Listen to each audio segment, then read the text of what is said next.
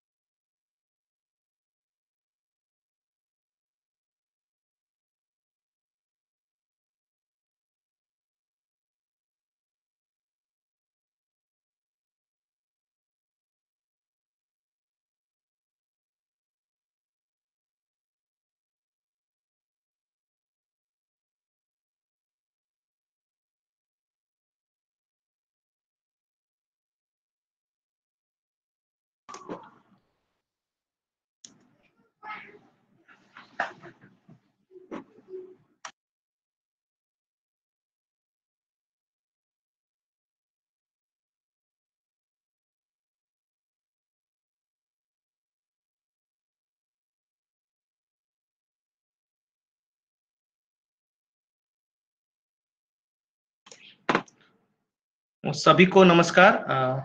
ये कार्यक्रम तय समय पे प्रारंभ होगा। जैसा कि आप जानते हैं कि आज के इस कार्यक्रम का के प्रारंभ होने का तय समय तीन बजकर पचास मिनट है।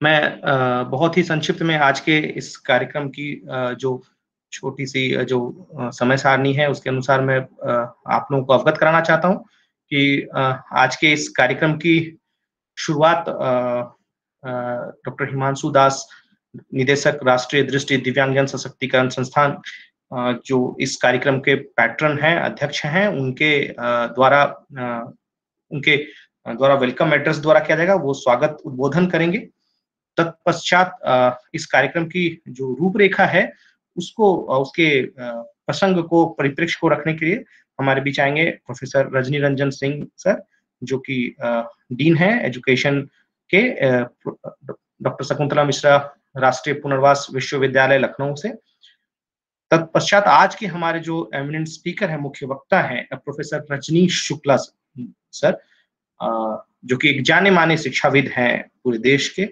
वो आज अपने अपने विचार को रखेंगे कि किस प्रकार से जो राष्ट्रीय शिक्षा नीति, नई राष्ट्रीय शिक्षा नीति है, वो किस प्रकार से नए परिदृश्य में एक बदलते हुए भारत का, के सपने को रख रही है और इसके पश्चात जो आज के दूसरे जो कार्यक्रम के पैटर्न हमारे हैं माननीय कुलपति डॉक्टर शकुंतला मिश्रा राष्ट्रीय पुनर्वास विश्वविद्यालय, वो अपना उद्बोधन देंगे और अंतिम में धन्यवाद ज्ञापन के साथ ये कार्यक्रम समाप्त होगा। तो इस कार्यक्रम की शुरुआत तीन बजकर पचास मिनट पे निदेशक राष्ट्रीय दृष्टि दिव्यांगजन सशक्तिकरण संस्थान के वेलकम एड्रेस द्वारा शुरुआत हो, किया जाएगा। तब तक अभी सभी जो प्रतिभागी हैं और जो लोग हमसे जुड़े हुए हैं, सब लोग इसमें जुड़ रहे हैं। आप सबका स्वागत है। और आज के इस कार्यक्रम के संचालन के लिए हमारे बीच हैं पुष्पांजलि गुप्ता जी, जो कि रिसर्च इन्वेस्टिगेटर हैं राष्ट्रीय दृष्टि दिव्यांगजन सशक्तिकरण संस्थान देहरादून में। तो अभी तक जो लोग जुड़े हैं, सभी लोग का बहुत बहुत स्वागत है।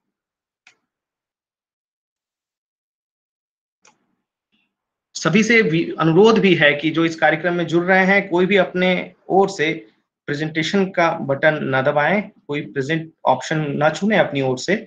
साथ ही आ, कोई भी अनम्यूट अपने आप को ना करें वरना जो हमारे स्पीकर्स हैं जो भी लोग गणमान्य लोग यहाँ मौजूद हैं जिनको सुनने के लिए आज हम यहाँ इकट्ठे हुए हैं उनके जो का व्याख्यान है उसमें बाधा आएगी। तो सभी से अनुरोध है कि कोई भी अनम्यूट ना करें। कृपया और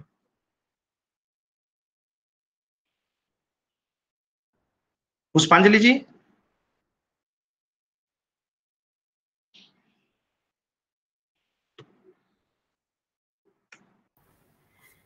सर गुड आफ्टरनून मैं हूँ सर 350 शुरू करना है ना सर 350 को?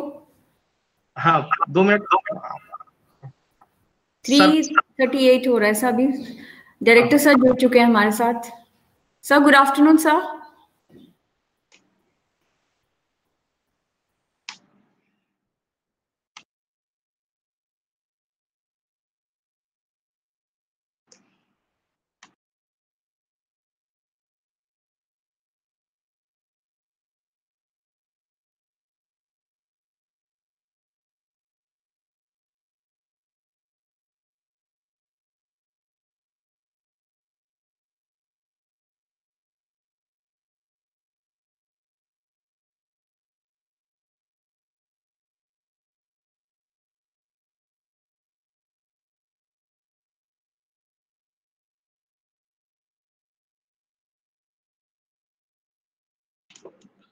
एक बार अभी जो लोग भी जुड़ रहे हैं, सभी लोग का स्वागत है। कार्यक्रम बिल्कुल तय समय पे प्रारंभ हो जाएगा। हमारे बीच सभी गणमान्य लोग भी आज के जो हैं, सभी एक एक करके जुड़ते जा रहे हैं। हम लोग बिल्कुल तय समय पे कार्यक्रम को प्रारंभ करेंगे।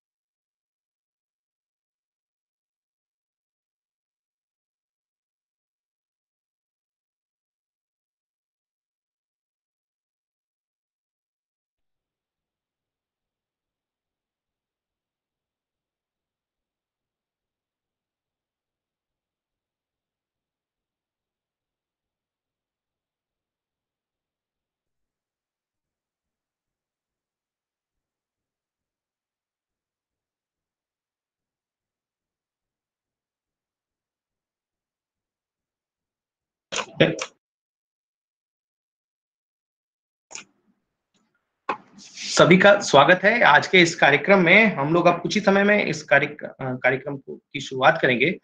और जैसा कि आपको मैं फिर से आज के इस कार्यक्रम की आ, के बारे में बताना चाहूँगा कि आप सभी जानते हैं कि आज हमारे बीच कार्यक्रम के मुख्य वक्ता के रूप में कैबिनेट स्पीकर के रूप में स्वीकार किया है। आमंत्रण हमारे बीच आज हैं। प्रोफेसर रजनीश शुक्ला सर जो कि माननीय कुलपति हैं महात्मा गांधी अंतर्राष्ट्रीय विश्वविद्यालय हिंदी विश्वविद्यालय वर्धा के और, और काफ़ी विद्वान और एक बहुत बड़े शिक्षाविद के रूप में स्थापित हैं वो हमारे देश में और उनकी कई अहम भूमिका रही है कई महत्वपूर्ण संस्थाओं में और कई कार्यों में राष्ट्रीय स्तर के जो नीति निर्माण है उनमें उनका महत्वपूर्ण योगदान रहा है। हमारे बीच आज वो मुख्य वक्ता के रूप में आज वो हम अपना पक्ष रखेंगे और किस प्रकार से नई शिक्षा नीति नए भारत के निर्माण की ओर बढ़ रही है उस पर अपने विचार रखेंगे। और इस कार्यक्रम की की शुरुआत अभी से कुछ देर में हम लोग करेंगे और आज के कार्यक्रम की शुरुआत होगी। आज के सभी आगंतुकों और जो हमारे बीच वक्ता हैं और जो मेहमान हैं, उन सभी का स्वागत करेंगे। निदेशक, राष्ट्रीय दृष्टि दिव्यांगजन सशक्तिकरण संस्थान, डॉक्टर हिमांशु दास सर। उसके बाद professor Rajni Ranjan Singh sir dean doctor Shakuntala Mishra, राष्ट्रीय पुनर्वास विश्वविद्यालय द्वारा इस कार्यक्रम के थीम प्रेजेंटेशन किया जाएगा। इस, जो कार्यक्रम की परिप्रेक्ष्य है, उसकी भूमिका है, वो रखी जाएगी और वही आमंत्रित भी करेंगे आज के मुख्य वक्ता को फिर। और उसके बाद हमारे बीच आज के मुख्य वक्ता होंगे और हमारे बीच सभी जुड़ चुके हैं। आज के मुख्य वक्ता सर भी जुड़ चुके हैं एक तो आ, मैं पुष्पांजलि जी से निवेदन करूँगा कि आज की कार्यक्रम की शुरुआत वो आ, कर दें तो हमारे बीच जुड़ चुके हैं। जी। नमस्कार सभी को। Doctor Shakuntala Mishra national rehabilitation university Lucknow एवं national institute for the person with visual disabilities दिव्यांगजन देहरादून द्वारा आयोजित लेक्चर सीरीज़ के पाँचवें लेक्चर में मैं पुष्पांजलि आप सभी का स्वागत करती हूँ। सीरीज़ का शीर्षक है reflective discourses on transforming the education system and reshaping the twenty century Bharat आज के लेक्चर की रूपरेखा मैं आपसे साझा कर लूँ।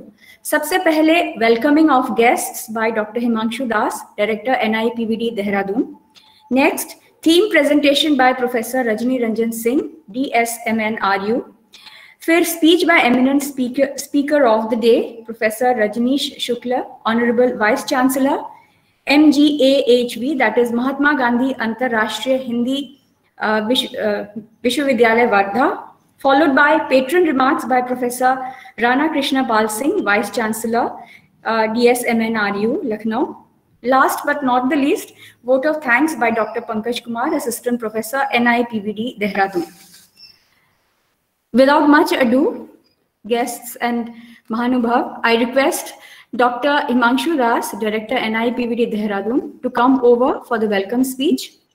Doctor Himanshu Das NIPVD Dehradun के डायरेक्टर होने से पूर्व दो नेशनल इंस्टीट्यूट्स एनआईपीएमडी चेन्नई और एनआईपीआईडी सिकंदराबाद के डायरेक्टर का पदभार संभाल चुके हैं कंपनी रिसोर्स सेंटर्स यानी सी जो कि एनआईस के शाखाओं के रूप में कार्य करते हैं, उनके एस्टेब्लिशमेंट में उनका बहुत बड़ा योगदान रहा है। बहुत पैशनेट हैं disability rehabilitation and empowerment of person disabilities के फ़ील्ड में कार्य करने के प्रति। करीब 25 वर्ष का अनुभव है उन्हें इस कार्य, इस क्षेत्र में कार्य करते हुए। Doctor Himanshu Das welcome sir thank you बहुत बहुत धन्यवाद पुष्पांजलि जी। मैं डॉक्टर पंकज कुमार जी, जो हमारे एनआईवीएच के कोऑर्डिनेटर है इस कार्यक्रम की, उनको भी बहुत बहुत धन्यवाद ज्ञापन करूँगा। इतना बढ़िया ये कार्यक्रम चल रहा है। आज पांचवी हमारी ये लेक्चर है राष्ट्रीय शिक्षा नीति के ऊपर। एक नई भारत, नई खोज, नई तरीके के हम लोग जो विकास करने की बात कर रहे हैं दिव्यांगता को लेके शिक्षा में, उसके ऊपर आज पांचवी श्रृंखला में कार्यक्रम है। और बहुत ही कम दिनों में हमने ये देखा है, देश का बहुत ही आफ्टर ये शॉर्ट आफ्टर एक most reward programme this is being discussed across all universities all teacher training institutions RCI ministry हर जगह इसकी डिस्कशन हो रही है रिफ्लेक्टिव डिस्कोर्स का, जिसको लेके मैं बहुत ही गौरवान्वित हूँ। और इसके लिए मैं हमारी प्रोफेसर राजनी रंजन सिंह को बहुत बहुत धन्यवाद करना चाहूँगा। उनकी अगुवाई में शकुंतला मिश्रा यूनिवर्सिटी ना कि उत्तर प्रदेश में अभी वो देखा जाए तो पूरे देश में स्पेशल एजुकेशन को आगे ले जाने में बहुत ही अग्रणी भूमिका निभा रहे हैं और हम चाहेंगे उनकी अगुवाई में विश्व भर में शकुंतला मिश्रा यूनिवर्सिटी का एक अलग नाम हो और खास तौर पे स्पेशल एजुकेशन डिपार्टमेंट जो है, ये पूरे देश के गौरव के रूप में विश्व स्तर में ये शामिल हो। हमारे आशीर्वाद हमें हमेशा मिलते रही है मिलते रहे। हमारा वाइस चांसलर डीएसएमआरयू के प्रोफेसर राणा कृष्ण पाल सिंह जी के आदरणीय सार की बहुत ही हमारे ऊपर आशीर्वाद रहा है, हाथ रहा है। उनकी कृपा से मुझे लगता है ये हमारी जो कोलाबोरेशन रही है, ये आगे और बहुत आगे जाने वाली है। सर को बहुत बहुत धन्यवाद करना चाहूँगा और हम चाहेंगे उनकी अगुवाई पे हम दोनों इंस्टीट्यूशन मिलके जो है बहुत बढ़िया काम आगे बढ़ाए। देश के लिए और पूरे रिहेबिलिटेशन सेक्टर के लिए इंक्लूसिव एजुकेशन सेक्टर के लिए, जितने भी स्टेक होल्डर्स हैं पर्सन विद डिसेबिलिटीज के लिए, सबके लिए हम विशेष तौर पे कोई नया नया चीज़ लाए और पूरे देश भर को एक अलग प्रकार का प्लेटफॉर्म में हम रखने, रख पाए। आज मैं आप लोगों के सामने जिस सज्जन का मुझे इंट्रोडक्शन करने का मौका आप लोगों ने दिया है, मैं उसको लेके आप लोगों को सबसे पहले धन्यवाद करना चाहूँगा। Doctor professor Rajneesh Shukla ji. हम में से बहुत लोगों को पता है, लेकिन फिर भी मैं थोड़ा सा उनके अनुमति से थोड़ा सा उनके बारे में कहना चाहूँगा कि वो हमारी पहला यूनिवर्सिटी सिक्किम में जो बनी थी, क्योंकि मैं नॉर्थ ईस्ट से हूँ, इसलिए मैं सर को इसके लिए धन्यवाद करना चाहूँगा सर।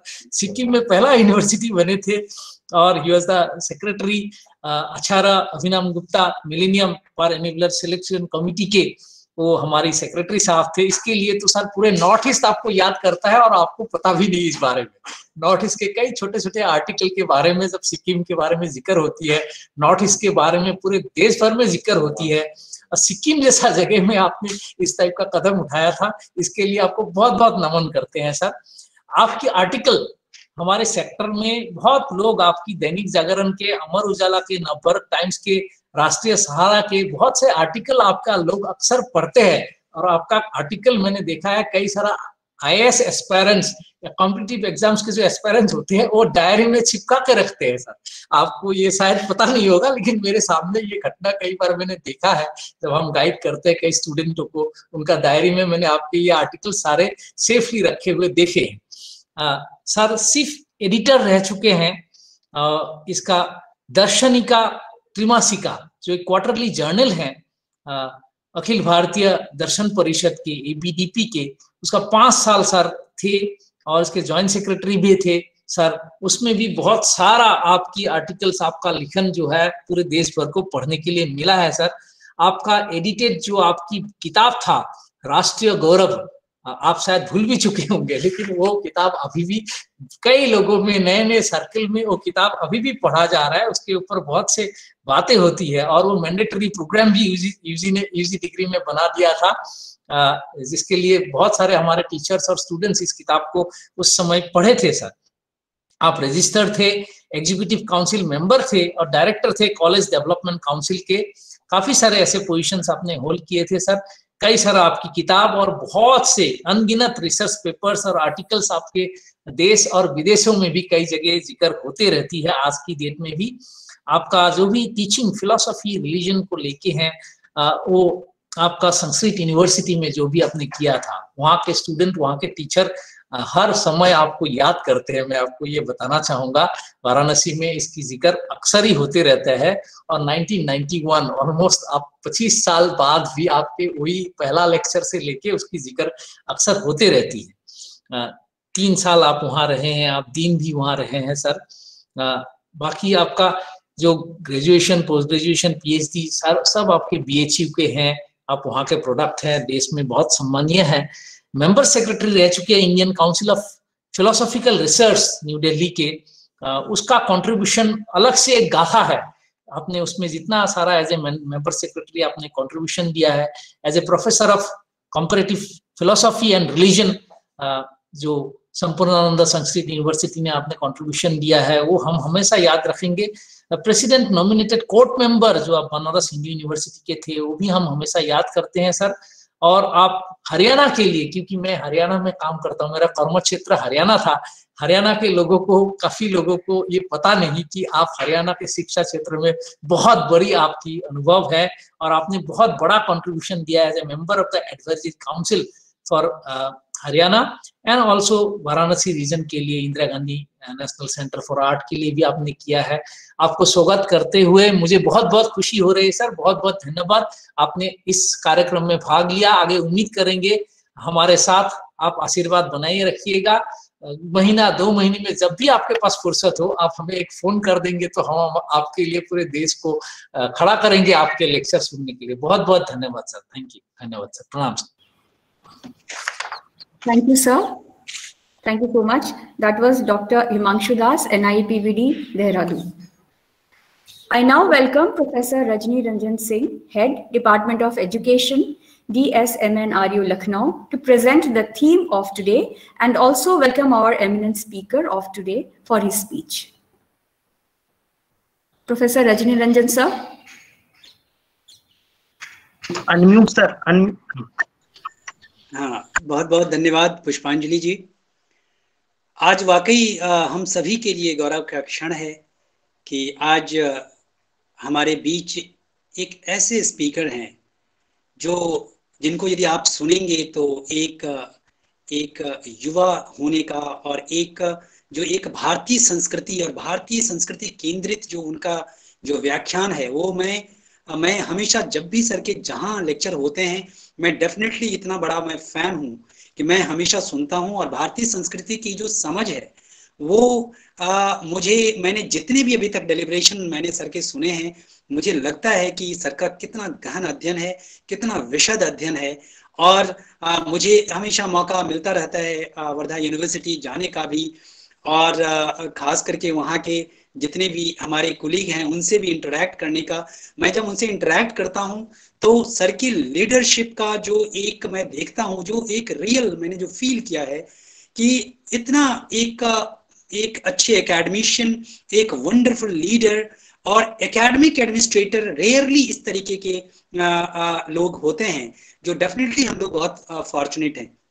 खास करके मैं इस प्लेटफॉर्म पे जो ये कोलैबोरेशन है national institute for the empowerment of person with visual disabilities और doctor Shakuntala Mishra national rehabilitation university ये इन दोनों इंस्टीट्यूशन ने, इन दोनों यूनिवर्सिटी और इंस्टीट्यूशन ने हम लोगों ने मिलकर के ये एक एक ठाना है कि कम से कम इस इंडिया के जितने भी टॉप लेवल के एडमिनिस्ट्रेटर हैं, जो एकेडमिशियन हैं, उनको कम से कम हमारे जितने भी जो दिव्यांग बच्चे हैं, जो, क्योंकि हम लोगों का जो एक मैंडेट है, वो एक विशेष मैंडेट है उनको कम से कम अपनी संस्कृति के बारे में, उनको किस तरीके से समावेशन कैसे किया जाए, उनको समावेशित शिक्षा का जो एक क्या स्वरूप होना चाहिए, उनकी क्या प्रकृति होनी चाहिए, क्योंकि मैं जानता हूँ कि समावेशी संस्कृति का जितना अनूठा उदाहरण भारतीय संस्कृति में है, वो शायद और कोई नहीं है। हमारे यशस्वी कुलपति महोदय प्रोफेसर राना कृष्ण पाल जी जो हमेशा हम लोग को मोटिवेट करते रहते हैं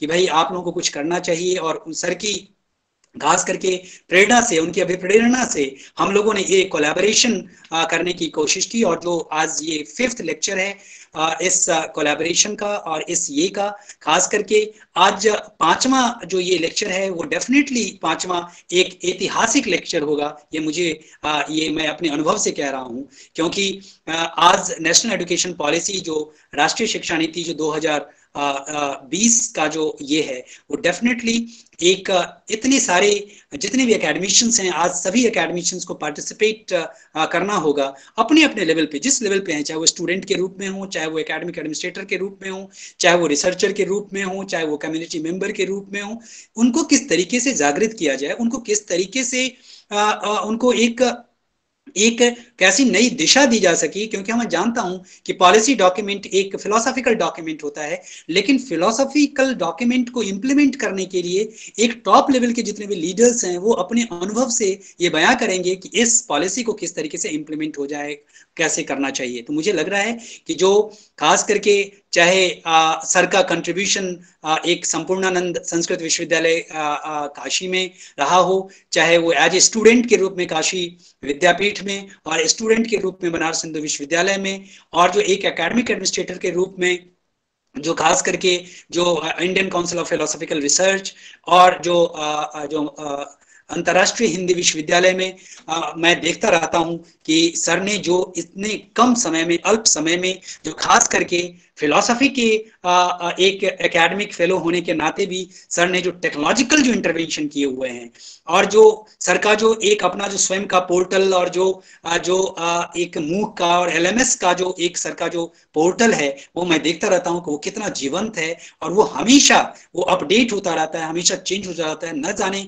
कम से कम सैकड़ों ऐसे एक पार्टिनेंट कंटेम्प्रेरी इश्यूज़ पे जो लेक्चर्स हैं, वो डेफिनेटली आपके लीडरशिप में सर ये हो रहा है। हम लोग आज बहुत फॉर्चुनेट हैं कि आज हम लोगों को आपको सुनने का मौका मिलेगा। और मुझे याद है कि मैंने सर से रिक्वेस्ट किया था कि सर आप प्लीज़ हमारे इस यूनिवर्सिटी में हमारे बच्चे को आप थोड़ा सा अपने महत्वपूर्ण समय में, मैं जानता हूँ कि आपका वक्त कितना वो है। मैं, आप बहुत व्यस्त रहते हैं, लेकिन इसके बावजूद भी सर आपने एक बार में कहा कि नहीं नहीं डेफिनेटली मैं उस प्रोग्राम में शामिल होऊँगा। ये, इसके लिए हम लोग वाकई बहुत ही भाग्यशाली हैं। हम लोग सौभाग्यशाली हैं कि आज आपने सर वक्त दिया है और मैं बहुत वक्त नहीं लूँगा। और हम लोग आपके अनुभव को आज सुनेंगे और हम लोग अपने को धन्य धन्य और कृतार्थ महसूस करेंगे। सर, आपका बहुत स्वागत है और हमें लगता है कि आज का जो दिन होगा, वो वाकई भारतीय राष्ट्रीय शिक्षा नीति 2020 और भारत केंद्रित शिक्षा एवं न्याय संगत विकास की ओर के ऊपर जो आपका जो आज डेलीब्रेशन होगा,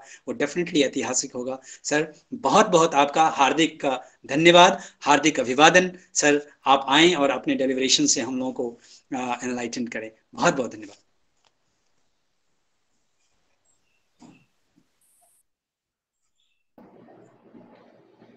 सबको नमस्कार।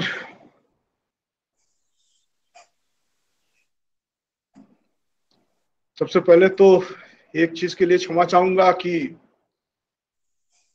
प्रोफेसर रजनी रंजन सिंह जी ने मुझसे जब अनुरोध किया था, तब शायद अभी पहला व्याख्यान भी इस सीरीज़ का नहीं हुआ था।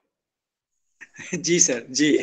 और वो मुझसे शुरू कराना चाहते थे। जी सर। पर मेरे प्रमाद के कारण और कुछ व्यस्तताओं के कारण से देर से जुड़ना हो पाया है।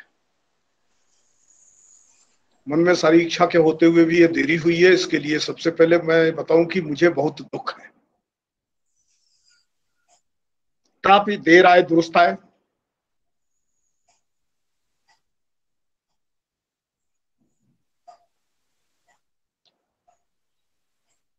अब दुरुस्त आया हूँ कि नहीं आया हूँ, ये बाद में पता चलेगा।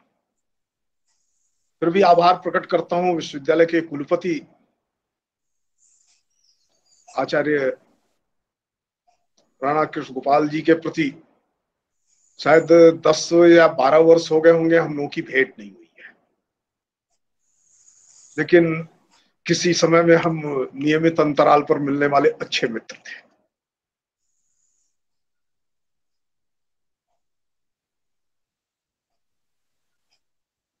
पर आभासी संसार के माध्यम से ही मिलना होगा ऐसा मुझे विश्वास था। मैं देख भी नहीं पा रहा हूँ वो जुड़े हैं या देर सवेर जुड़ेंगे या कुलपति पद की जो व्यस्तताएँ होती हैं जो मजबूरियाँ होती हैं उनसे बेहतर कोई समझ नहीं सकता है।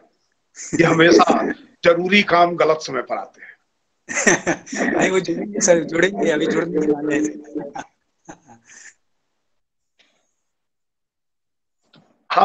ये विषय लक्ष्य तो नई शिक्षा नीति और नए भारत का निर्माण इस लक्ष्य को लेकर के हम विशेष परिस्थिति, विशेष प्रकार की सामाजिक व्यक्तिगत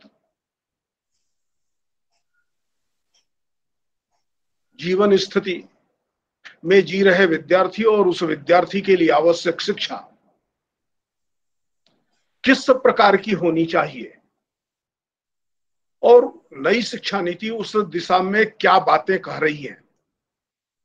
नई शिक्षा नीति में सुझाए गए रास्ते को अख्तियार करते हुए, उस रास्ते पर चलते हुए, किस प्रकार से 21वीं शताब्दी के चैलेंजेस को, a student of special need,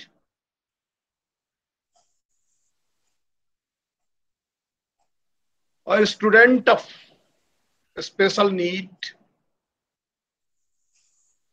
के साथ साथ जस्टिस टू ऑल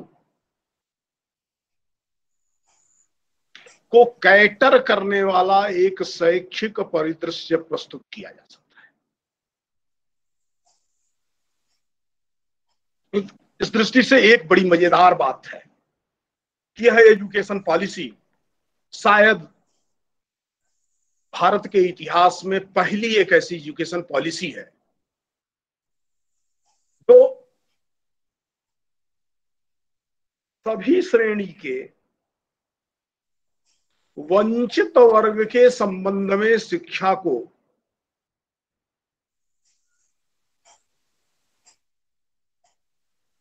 कैटर किया जा सके, उस तक शिक्षा पहुंचाई जा सके, शिक्षा के ढांचे में उसको ले आया जा सके।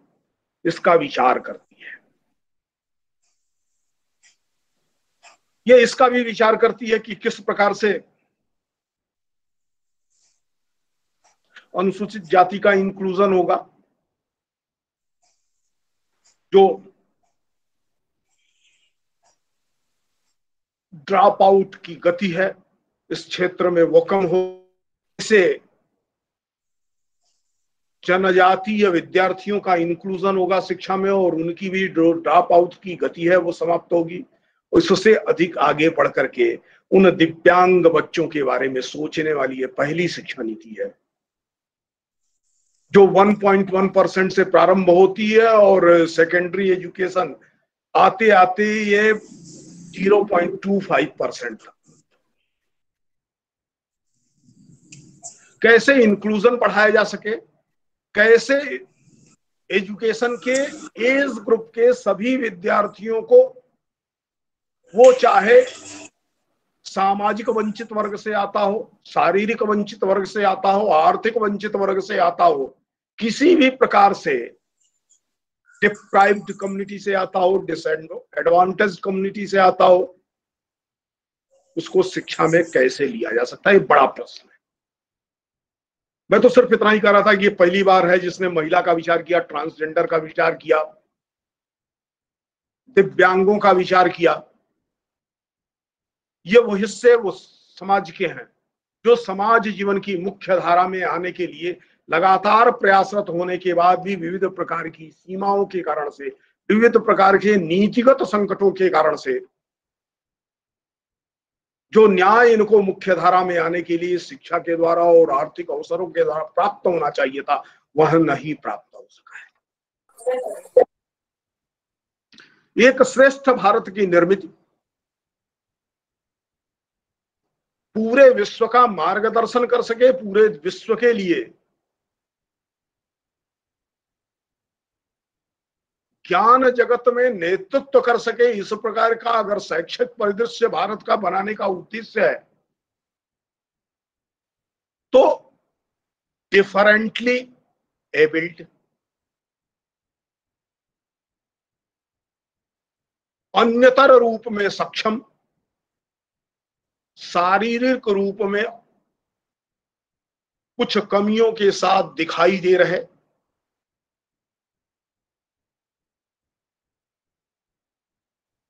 बच्चों और युवाओं के संबंध में विशेष रूप से विचार करना पड़ेगा। और सिर्फ़ फिजिकली चैलेंज्ड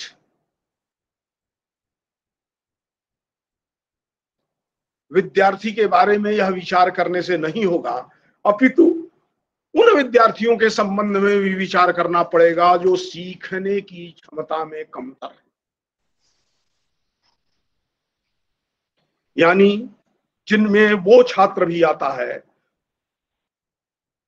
जो किसी भी ढंग से वंचित होता है, सामाजिक रूप से वंचित होता है, आर्थिक रूप से वंचित होता है, शारीरिक रूप से वंचित होता है। इस दृष्टि से शिक्षा नीति विशिष्ट तो है, लेकिन इस विशिष्ट शिक्षा नीति में ये नीति है। सिर्फ़ नीति से कुछ नहीं होता, नीयत तभी ठीक होनी चाहिए। केवल नियत ठीक होने से नहीं होगा, निष्ठा भी होनी चाहिए। नीति, नियत और निष्ठा। The policy intention and commitment ये जब तीनों सही दिशा में होते हैं और उचित मात्रा में किसी भी कार्य में आते हैं। तब जाकर के एक परिणामदायी स्थिति बनती है। राष्ट्रीय शिक्षा नीति 2020 एनपी 2020 इस दृष्टि से एक विशिष्ट प्रकार के शिक्षा परिदृश्य की प्रस्तुति करता यह सभी प्रकार के भेदों को, विषमता मूलक सभी प्रकार के भेदों को, विषमता की खाई को बढ़ाने वाले सभी प्रकार के ब्रैकेट्स को,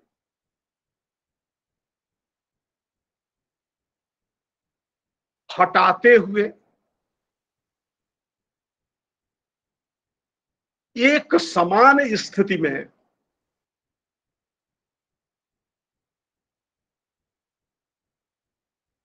सबको कैसे लाया जा सके, इसका विचार करती है। शायद ये पहली शिक्षा नीति है जो सिर्फ़ socially economically and physically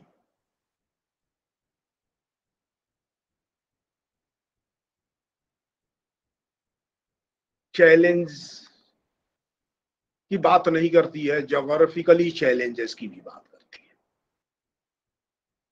और जोग्राफिकल चैलेंज एक ऐसा चैलेंज है जो इन तीनों ही प्रकार के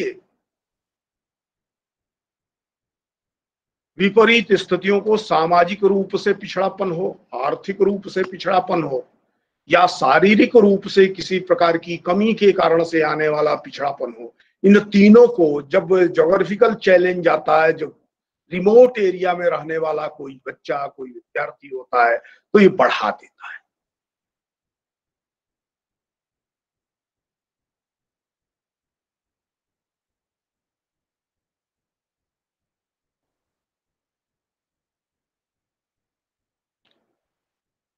शकुंतला मिश्रा पुनर्वास विश्वविद्यालय एक विशेष सपने का विश्वविद्यालय है। ये गौरव तो उत्तर प्रदेश को ही प्राप्त है, जिस प्रदेश में दो दो इस प्रकार के सपनों के विश्वविद्यालय हैं।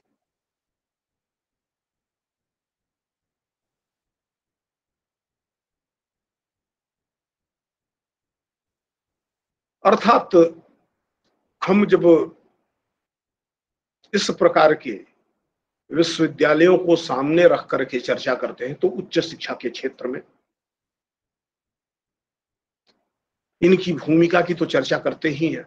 उच्च शिक्षा क्षेत्र में इंक्लूजन किस प्रकार हो सके? सेकेंडरी एजुकेशन तक की जो ड्रॉप आउट है, उस ड्रॉप आउट को रोक करके अधिकतम संभव विद्यार्थी इन सभी प्रकार की चुनौतियों का सामना करने वाला विद्यार्थी। उच्च शिक्षा के ढांचे में किस प्रकार से आ सके, ये तो चुनौती है ही। एक दूसरी बड़ी चुनौती इन विश्वविद्यालयों के सामने है। ऐसे शिक्षकों की निर्मित करना जो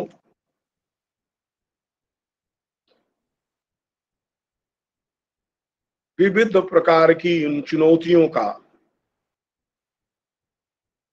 सामना कर सके। ये शिक्षा नीति पहली बार है कि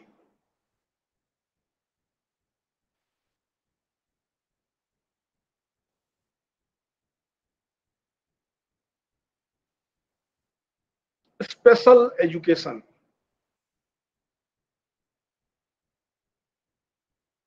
से अलग हट करके विविध प्रकार का विद्यार्थी, विविध प्रकार की विसंगतियों के कारण से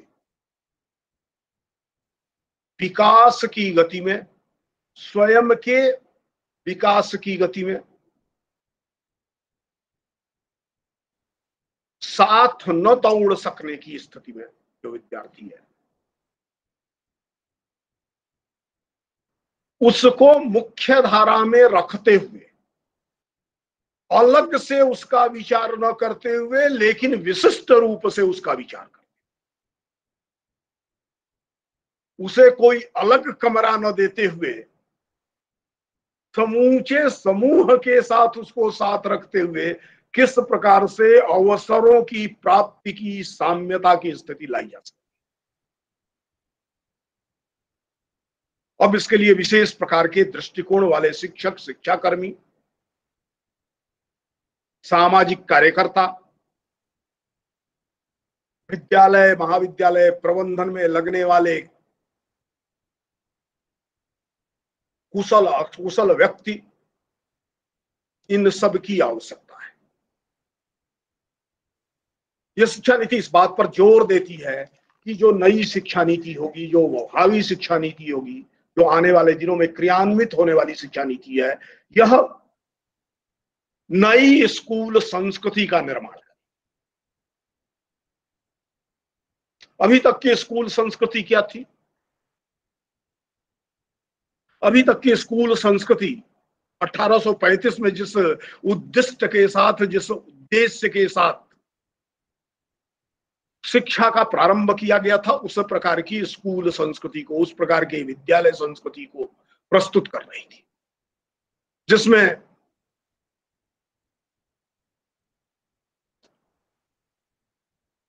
brilliant excellent mediocre and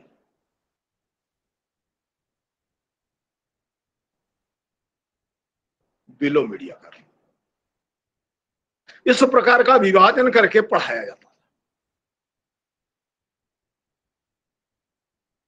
इसमें थोड़ा विचार किया और 1986 में जो शिक्षा नीति आई, इसमें एक बात कहा कि इन सबको कुछ रेमेडियल इनपुट की ज़रूरत है रेमेडियल इनपुट की ज़रूरत उपचारात्मक व्यवस्था की ज़रूरत है।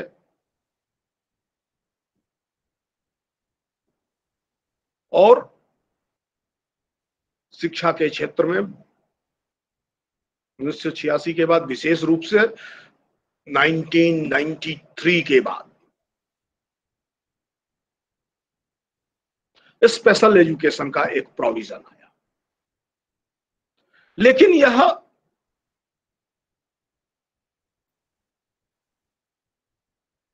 विविध रूप से वंचित हो रहे, विविध कारकों से मुख्य धारा से अलग हो रहे विद्यार्थी के लिए एक्सक्लूजन का का ही यत्न था। यह इंक्लूजन का यंत्र, यत्न नहीं था। यह सामान्य है और दूसरा असामान्य है।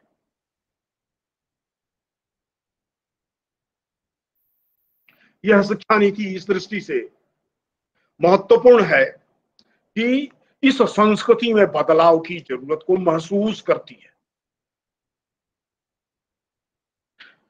यह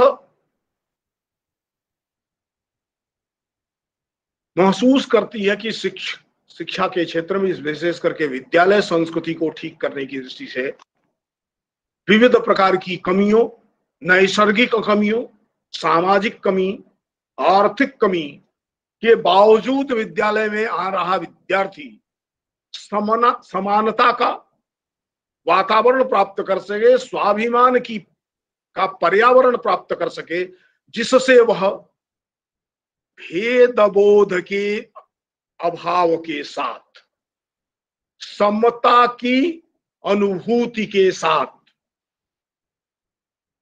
हारमोनियस अप्रोच में शिक्षा प्राप्त वस्तुतः न्याय का प्रश्न बहुत ही महत्वपूर्ण प्रश्न है।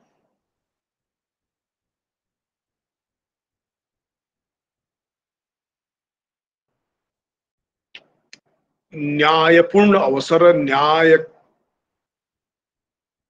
का वित, उचित वितरण एक बड़ा चैलेंज है। डेमोक्रेटिक सेटअप में तो यह और बड़ा चैलेंज मैं कहानी से प्रस्तुत करूँगा। इस शिक्षा नीति को उसके आलोक में इस जब हम देखेंगे, न्याय कैसे होगा, सबको न्याय कैसे प्राप्त होगा, सबको अवसर कैसे प्राप्त होंगे, समानता का विचार कैसे होगा। शिक्षण, प्रशिक्षण और अवसर, इसमें समान रूप से सबकी सहभागिता कैसे होगी, ये ऐसे प्रश्न हैं जिन प्रश्नों का हल हमने अपनी शिक्षा पद्धति में आज तक नहीं खोजा था। मैं अमर्त्य सेन की एक के द्वारा लिखी गई एक कहानी, बहुत चर्चित कहानी है। जब न्याय के प्रश्न को हल करने की बात आती है तो कहते हैं कि तीन बच्चे थे, एक गाँव के पास खेल रहे थे, खेलते खेलते आपस में झगड़ा करने लगे। एक समझदार आदमी जा रहा था।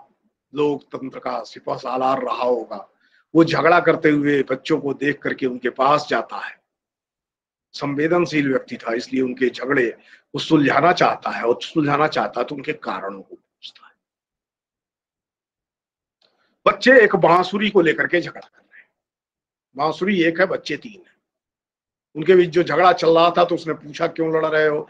तो सबने कहा, हमको ये बांसुरी चाहिए, हमको ये बांसुरी चाहिए.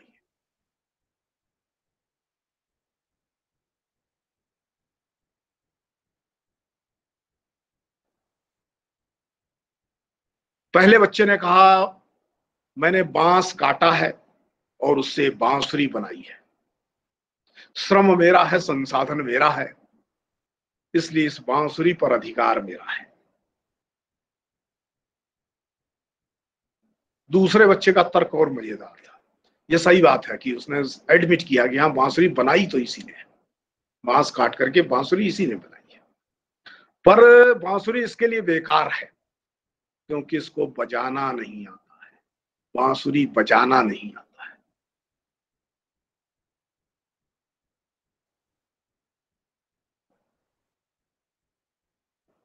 इस, और मुझे बांसुरी बजाने आती है, इसलिए बांसुरी मुझे मिलनी चाहिए। उसके भी तर्क को सुनता है। समझदार आदमी है, लोकतंत्र में आस्था, इसलिए तीसरे के भी तर्क को सुनता है। तीसरे का बहुत सही सपाट तथ्यों को स्वीकार करते हुए युक्त किया है। ये सही है कि पहले ने बांसुरी बनाई है, ए ने बांसुरी बनाई है। ये भी सही है कि बी को बांसुरी बजाने आती है, ए को बांसुरी बजाने नहीं आती है। और मैं जो सी हूँ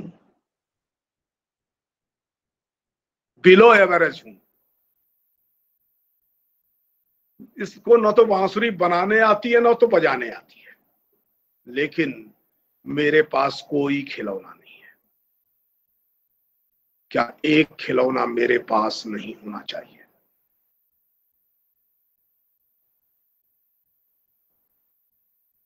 न्याय का प्रश्न यहाँ आकर के खड़ा।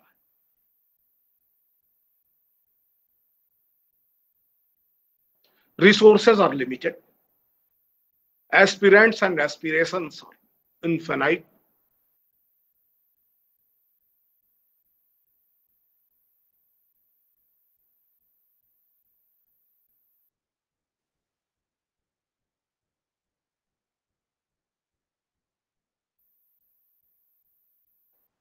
ऐसे में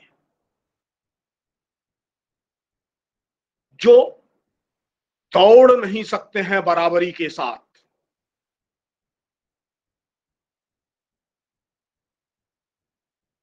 जन्मजात विविध प्रकार की विसंगतियों के कारण से।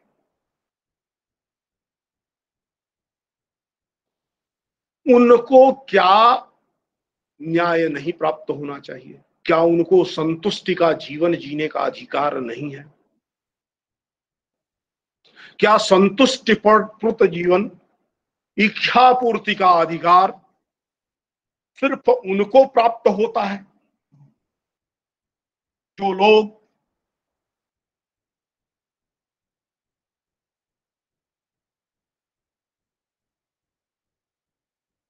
क्षमतावान है, शक्तिवान है, बुद्धिमान है भारत की शिक्षा नीति में या दुनिया की शिक्षा नीति में इस प्रश्न को का उत्तर देने की कोई कोशिश नहीं की इस दृष्टि से नई शिक्षा नीति 2020-20 एक ऐसी परिस्थिति की निर्मित करती है।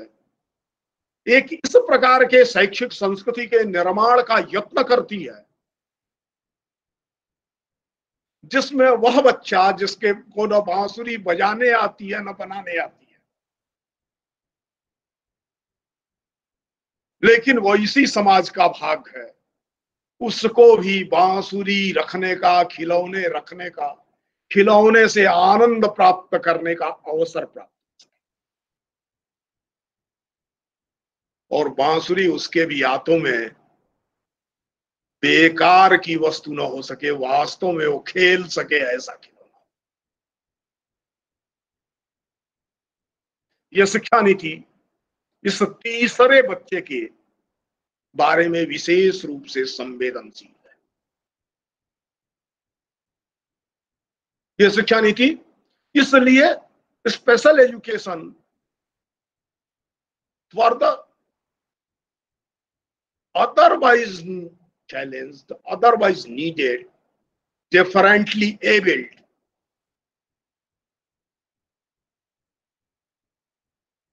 And even socially or economically deprived.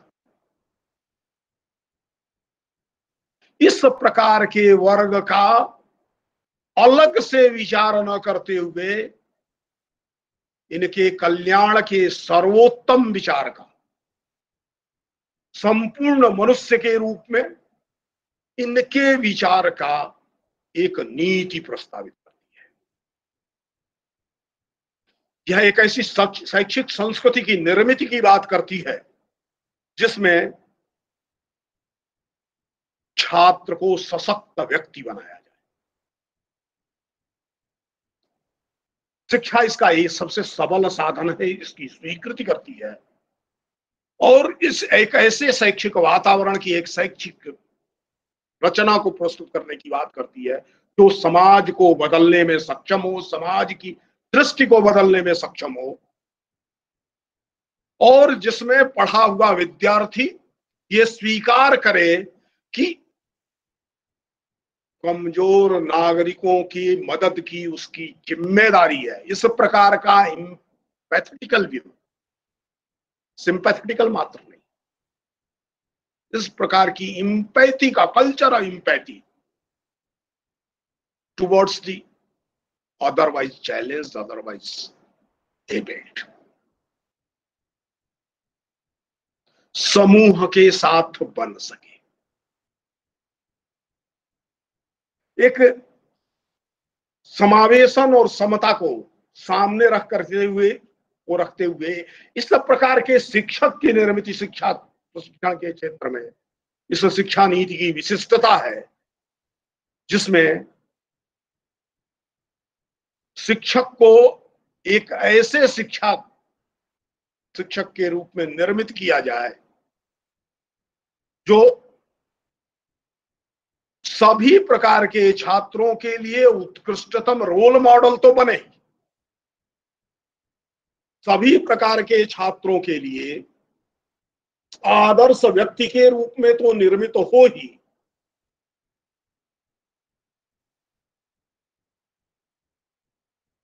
उन छात्रों के लिए एक guide friend philosopher including a teacher बन सके जो किसी भी ढंग से अपने को मानसिक स्तर पर, शारीरिक स्तर पर, सामाजिक स्तर पर वंचित महसूस ये एक ऐसे शिक्षक की निर्मित की संकल्पना है शिक्षा नीति।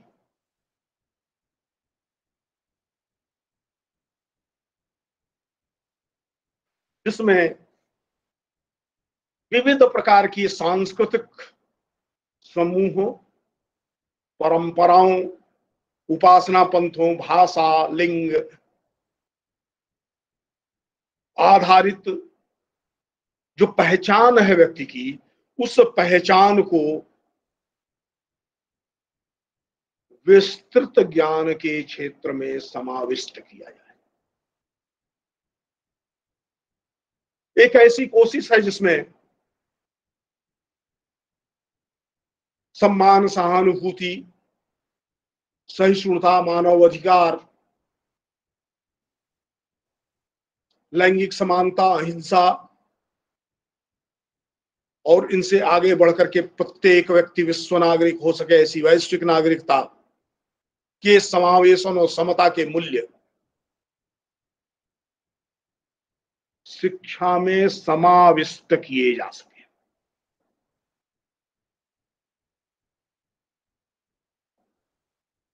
यह होगा कैसे? जो ढांचा है, हमारा ढांचा है, श्रेष्ठतम के अवसर का ढांचा है। जो हमारा ढांचा है, वह विभेद मूलक सामाजिक न्याय का ढांचा है। यह सही बात है। कि विभेद मूलक सामाजिक न्याय हमारी एक कालिक आवश्यकता है। किसी भी रेस में, किसी भी प्रकार से कमज़ोर, बीमार, पैर में चोट लगे हुए, धावक और संपूर्णतः सक्षम स्प्रिंटर, इन दोनों को एक ही स्टार्टिंग लाइन से नहीं दौड़ाया जा सकता अगर एक स्टार्टिंग लाइन से दौड़ाते हैं तो निश्चित रूप से जो सभी प्रकार के अवसरों से परिपूर्ण है, किसी प्रकार की विषमता और वंचना से जो मुक्त है, ऐसा सर्वांग सक्षम व्यक्ति रेस को जीतेगा। और जो वंचित है, शारीरिक रूप से, मानसिक रूप से, आर्थिक रूप से या सामाजिक रूप से ऐसा वंचित व्यक्ति उस रेस में पिछड़ जाएगा। मैं तुलना नहीं करना चाहता था, लेकिन शब्द प्रयोग के नाते सिर्फ़ कह रहा हूँ इसको अन्यथा न दिया जाएगा। किसी भी रेस में चार एक लंगड़े घोड़े और एक अच्छे घोड़े को एक साथ स्टार्टिंग पॉइंट से लड़ा करके हम पहले ही तय करते हैं कि अच्छा घोड़ा रेस को जीते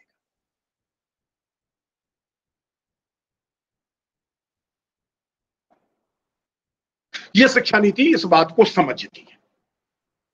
विभेद मूलक सामाजिक न्याय सामाजिक न्याय की दृष्टि से तो उपयोगी है। लेकिन जहाँ तक तुष्टि का प्रश्न है, संतुष्टि का प्रश्न है, स्वाभिमान का प्रश्न है, यह विभेद मूलक सामाजिक न्याय के आधार पर, जिसको हमने भारत की व्यवस्था में रिजर्वेशन पॉलिसी के माध्यम से एक उपचारात्मक विधि के रूप में इवॉल्व किया है। एक रेमेडियल मेथड के रूप में इवॉल्व किया है। उससे नहीं हो सकता है। उसकी ज़रूरत तो है।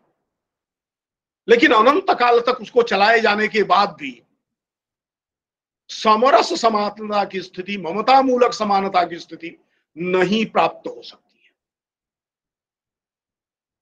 जब तक कंपेशन पर आधारित इक्विटी नहीं आती है,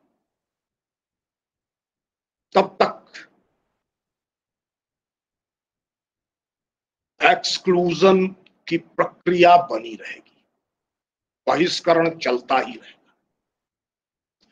इस शिक्षा नीति ने इसका मूल कारण तो तलाशा। और मूल कारण तलाशते हुए शिक्षा नीति यह मानती है कि स्कूली शिक्षा की संस्कृति को बदलना स्कूली शिक्षा की संस्कृति को बदलना है तो दोनों ही चीज़ों को बदलनी पड़ेगी। स्कूल कैंपस को, स्कूल का कॉम्प्लेक्स को बदलना पड़ेगा। और टीचर को बदलना पड़ेगा। यानी आधारभूत ढांचे में भी परिवर्तन करना पड़ेगा और संसाध, मानव संसाधनों में भी परिवर्तन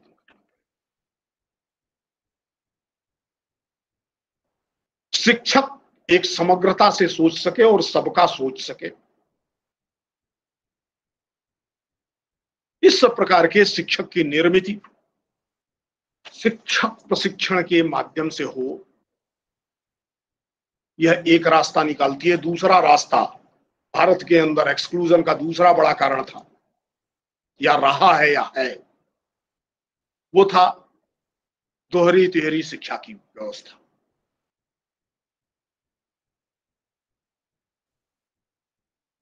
सरकारी स्कूल है, उसके बाद से प्राइवेट स्कूल है। और तीसरा प्राइवेट स्कूलों का वो मॉडल है जिन्हें हम पब्लिक स्कूलों के नाम से जानते हैं, though they are not are not public school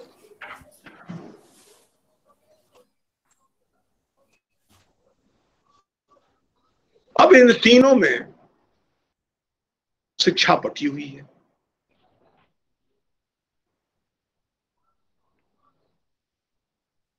परिणाम है कि इधर के जो सर्वेक्षण आ रहे हैं, सरकारी स्कूलों में इनरोलमेंट घटता जा रहा है, नामांकन घटता जा रहा है।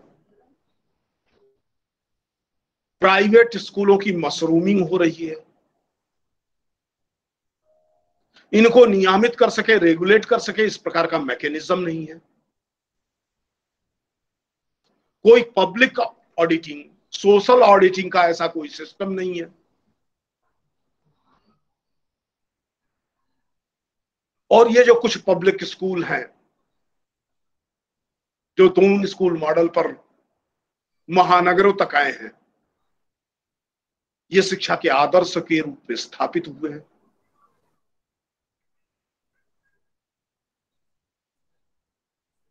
परिणाम है कि उन स्कूलों में नॉमिनेशन के लिए, गर्भस्थ शिशुओं के लिए लाइन लगाई जाती है।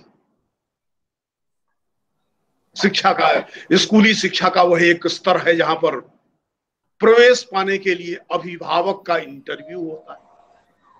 और उसकी दोनों ताकत, उसकी बौद्धिक ताकत भी नापी जाती है, उसकी आर्थिक ताकत भी नापी जाती है।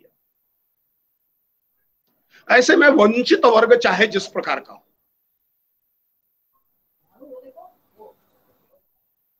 शारीरिक हो, मानसिक हो, सामाजिक हो या आर्थिक हो।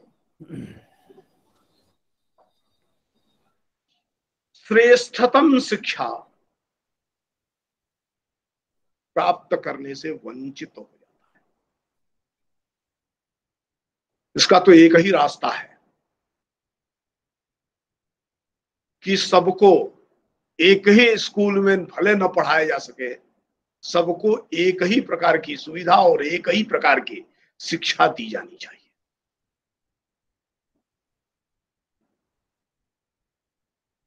क्लस्टर स्कूल की अवधारणा के द्वारा यह शिक्षा नीति।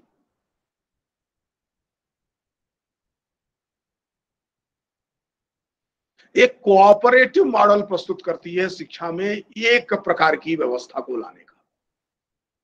यह हो सकता है कृष्ण और सुदामा या वो थोड़ा लंगड़ा करके चलने वाला श्रीदामा, कृष्ण का सखा। एक स्कूल में न पढ़ना है।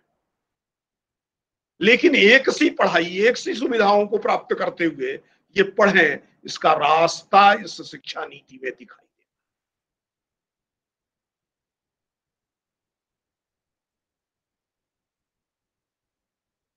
इसके लिए शिक्षा नीति स्कूली शिक्षा के मानक निर्धारण और प्रमाणन के एक रास्ते का प्रस्ताव तो करती है।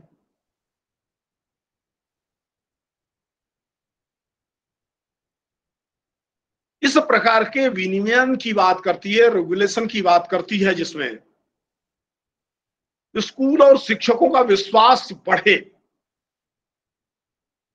उनका उत्साह बढ़े।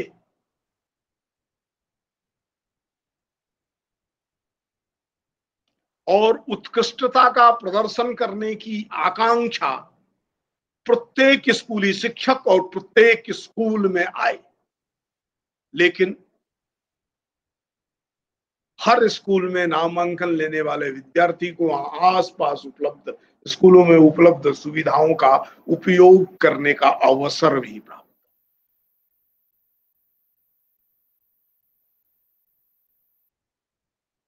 अब कल्पना करिए लखनऊ की। वो लखनऊ के श्रेष्ठ school channel Montessori City Montessori School channel की बात करिए। और उसी सिटी मांटेसरी के बगल के किसी लखनऊ नगर निगम के प्राइमरी स्कूल की कल्पना करिए। ध्यान में क्या आएगा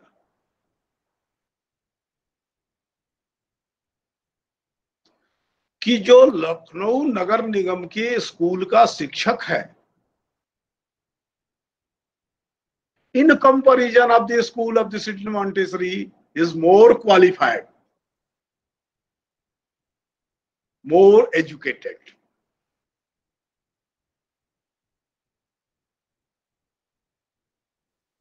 एक ये स्थिति आती है, दूसरी स्थिति आती है कि सेटिस्फेक्शन लेवल सिर्फ़ क्वालिफाइड शिक्षक का इंटरव्यू लेकर के तो विद्यार्थी जाता नहीं है। वो तो जो सोशल ऑडिटिंग बाहर से दिखाई दे रहा है, समाज जिस रूप में व्यक्त करता है, उस अभिव्यक्ति के आधार पर स्कूलों में जाता है।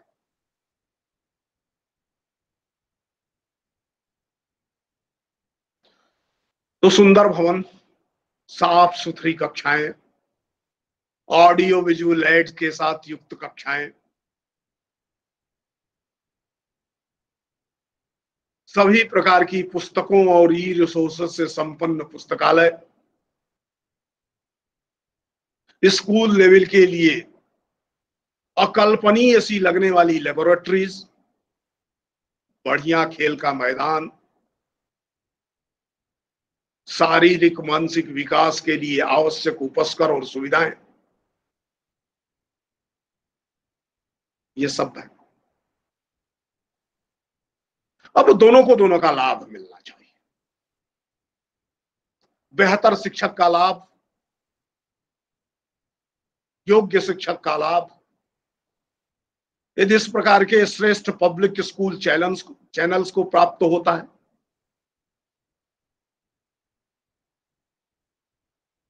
और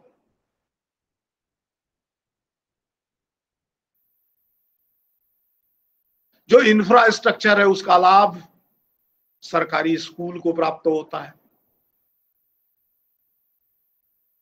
तो हम कृष्ण और सुदामा दोनों के लिए समान प्रकार के शिक्षा के अवसर और शिक्षा की सुविधाएँ सर्जित कर सकते हैं और एक नंदन वंशी शिक्षा की व्यवस्था इस देश में निर्मित हो सकती यह शिक्षा नीति इस दिशा में आगे बढ़ रही शिक्षा नीति है। ये शिक्षा नीति इस दिशा में बेहतर सोच रही शिक्षा नीति है।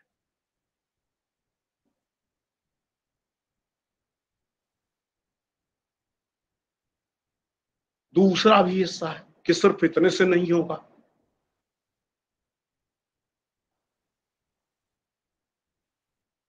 अब फिजिकली चैलेंज स्टूडेंट की बात करें, दिव्यांग विद्यार्थी की बात करें, घर से रोज स्कूल आना उसके लिए एक चैलेंज है। तो क्या उसको रोज स्कूल आने की अपरिहार्यता करनी चाहिए क्या? अब स्कूल सबके घर तो जा नहीं सकता है। एक दूसरा प्रश्न है। तो उस स्कूल के अंदर जो सोशलाइजेशन का प्रोसेस चलता है, उस प्रोसेस के साथ भी उसकी अन्विति हो सके। जो कल्चरलाइजेशन का, संस्कृतिकरण का प्रोसेस चलता है, उसके साथ भी उसका जुड़ना हो सके। और रोज रोज स्कूल आने की बाध्यता उसकी शारीरिक स्थिति को देखते हुए न बनी रहे, ये भी तो एक रास्ता हो सकता है। इसलिए पहली शिक्षा नीति है जो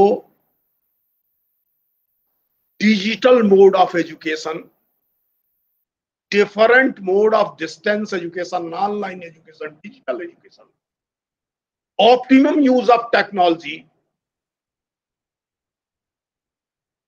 इसके माध्यम से विचार करती है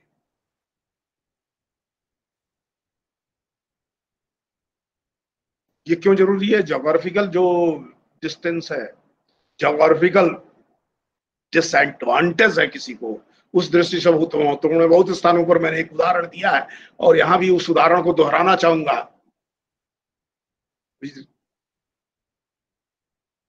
इधर के दिनों में मेरा लेह लद्दाख के क्षेत्र में जाने का पिछले दो तीन वर्षों से क्रम बना है। भारत तिब्बत सीमा के भिन्न भिन्न इलाकों में मैं घूमता रहा हूँ। वहाँ कुछ एक गाँव है। उसमें से एक गाँव ऐसा है जो एक परिवार रहता उस परिवार में शिक्षा योग्य कुछ बच्चे हैं। लेकिन जो अवेलेबल स्कूल है, वो वहाँ से पंचानवे किलोमीटर दूर है।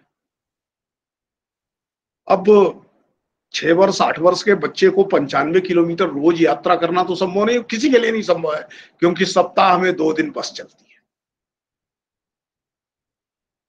दो दिन में लेह पहुँचती है, फिर दो दिन में लेह से आती है।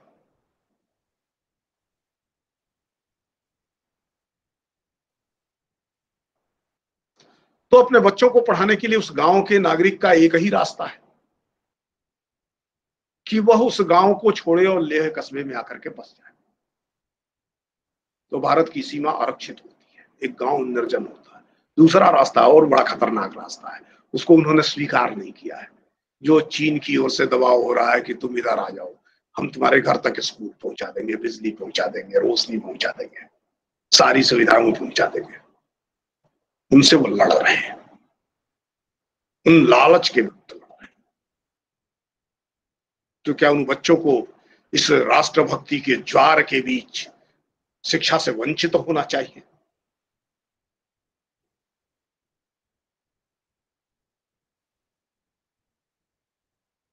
हम सबका उत्तर होगा, नहीं, उनको शिक्षा मिलनी चाहिए।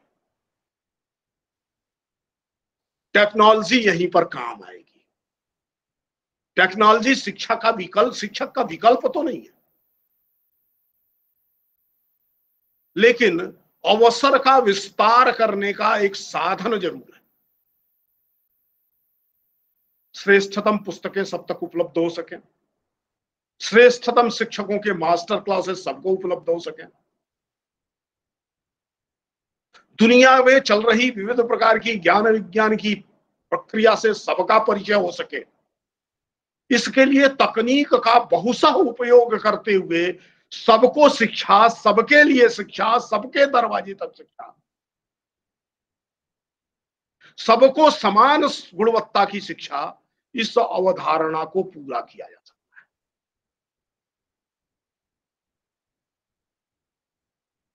ये किस लिए और भी ज़रूरी है बता रहा हूँ। हम से सब लोग परिचित हैं। सबसे पहले कंपलसरी एजुकेशन बिल जब ब्रिटेन में आया था, तब भी स्कूल खाली थे।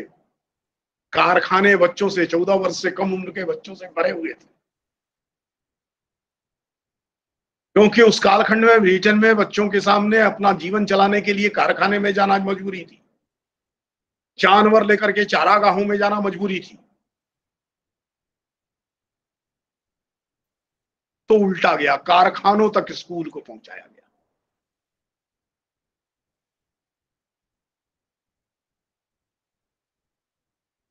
ये शिक्षा नीति, इस प्रकार की जो सामाजिक मजबूरियाँ हैं, उनका भी विचार करते हुए शिक्षा सबके द्वार पहुँचे। किसी प्रकार की अक्षमता, किसी प्रकार का अवसर का अभाव, मनुष्य को शिक्षित होने, पढ़ने और पढ़ने के अवसर से वंचित न कर सके इसका रास्ता। और यही एकमात्र तरीका है कि न्याय युक्त समाज बनाया जा सकता है सबको न्याय मिल सके। सबके हाथ में वो खिलौना आ सके, जिससे खेलते हुए वो तोष प्राप्त कर सके। इस दृष्टि से शिक्षा नीति 1986 की शिक्षा नीति के बाद आई हुई शिक्षा नीति नहीं है। यह पहली बार 1835 के बाद आई हुई शिक्षा नीति। एक सौ पचासी वर्ष से चल रही कुछ के लिए शिक्षा, कुछ के लिए विशिष्ट शिक्षा, कुछ के लिए उपयोगी शिक्षा, कुछ के लिए निरुपयोगी शिक्षा, कुछ के लिए साक्षरता ही शिक्षा, कुछ के लिए कौशल ही शिक्षा कुछ के लिए बहु बोध ही शिक्षा। इस प्रकार से शिक्षा के जो विविध रूप बनाए गए थे, जो उन्होंने विकसित किया था, वहाँ पर ग्रामर स्कूल पॉलिटेक्निक स्कूल इस प्रकार से विभाजित करके शिक्षा को विभाजित किया था यूरोप के अंदर विशेष करके ब्रिटिश एजुकेशन सिस्टम में। उसको खारिज करती हुई बोध और कौशल से युक्त शिक्षा, जो ज्ञान की भी निर्मित करेगी कौशल की भी निर्मित करेगी अपने सांस्कृतिक परंपराओं से जोड़ेगी, अपने परिवेश से जोड़ेगी, अपने परिवेश की अपेक्षा और आकांक्षा से हर विद्यार्थी का परिचय कराएगी। इस प्रकार के एक शैक्षिक संस्कृति की और एक विद्यालय संस्कृति की निर्मित का यह जो प्रस्ताव आया है, यह सामाजिक न्याय की, मनुष्य को न्याय देने की, श्रेष्ठतम अवसर मनुष्य को उपलब्ध कराने की और अंततः शिक्षा के माध्यम से सक्षम, संतुष्ट और स्वाभिमान से जीवन जीने वाला मनुष्य और अपना जीवन यापन कर सके, इस प्रकार का कौशल संपन्न मनुष्य बनाने का एक यत्न इस शिक्षा नीति से प्रस्तावित है। इस छोटे से निवेदन के साथ मैं अपनी बात को पूरा करता हूँ। आप सबको बहुत बहुत धन्यवाद कि आपने इतनी देर तक धीरज पूर्वक मुझे सुना। नमस्ते।